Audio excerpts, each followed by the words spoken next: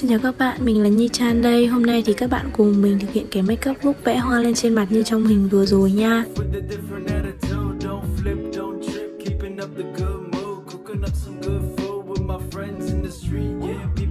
Mình đã bôi kem chống nắng rồi. Bây giờ thì mình dùng kem che khuyết điểm của tờ C màu 01 Bạn nào da ngăm hơn thì mình có thể dùng màu 1.5 nhé Sau đấy thì mình dùng cái bông ẩm này để tán đều cái kem che khuyết điểm ra. Hôm nay thì mình dùng cái màu hồng ở bảng mắt này và mình chỉ dùng một màu hồng này thôi. Thế nên là mình sẽ đánh cả bầu mắt và sau đấy thì đánh ở phần mí mắt đậm hơn một chút luôn. Để cho mắt của mình trông vẫn được sâu ấy.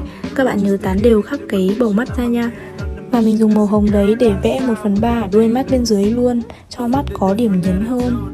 Bây giờ thì mình dùng cái màu nâu ấy để vẽ phần bọng mắt. Bọng mắt này thì mọi người nheo cười xong rồi vẽ theo cái đường mà mình có sẵn ấy Thì nó sẽ trông rất là tự nhiên. Sau đấy thì mình dùng màu óng ánh này để vẽ lên dưới mí mắt dưới của mình. Mình thấy làm thế này thì trong mắt nó sẽ to hơn ý. Mình tô một chút óng ánh đấy lên trên đầu mắt của mình để trong mắt của mình được to hơn và mặt nó sáng hơn nữa. Bây giờ thì đến phần kẹp mi. Mình dùng kẹp mi này và mình kẹp hơi mệt tại vì mình thấy cái này nó cũng không ok lắm nhưng mà mình chưa mua được cái mới.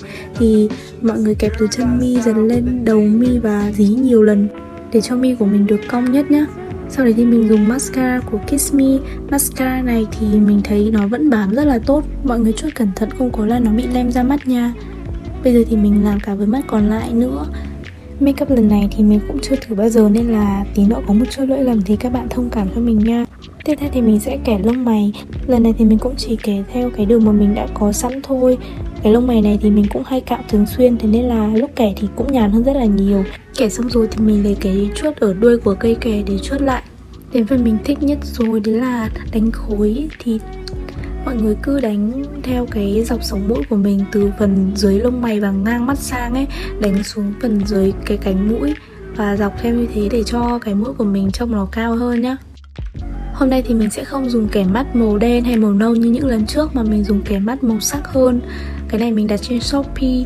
Mình định kẻ mắt màu trắng trước, thế nhưng mà mình thấy nó không hợp lý lắm, nên là mình đã chuyển sang màu xanh. Cái kẻ mắt này thì phân biệt với nhau ở màu sắc là cái chỗ chữ ấy mình cũng kẻ một đường từ chân mắt lên trên hách lên trên thôi. Và cái mắt này thì mình thấy cũng hơi khó kẻ. Cái mực của nó không trơn lắm ấy. Sau đấy thì mình dùng màu trắng để chấm ba cái chấm lên trên bọng mắt của mình. Mình phải chấm hết sức cẩn thận tại vì cái bút này nó không phải là chuyên để vẽ mà nó chỉ là cái, cái bút kẻ mắt thôi. Mình dùng cái bút trắng đấy để vẽ cái đường viền của cái kẻ mắt này ấy. Tại vì lúc đấy trong đầu mình lại thấy như thế nó hay hay sau đấy thì mình dùng cái bút màu trắng để thấm ba cái chấm lên trên mắt như thế này nữa. Bây giờ thì mình sẽ đánh son. Hôm nay mình dùng son của Mercy màu 16 Xong rồi đến đánh má. Mình thấm thật nhanh và đều tay để cho son được đều màu ở trên má của mình nhá.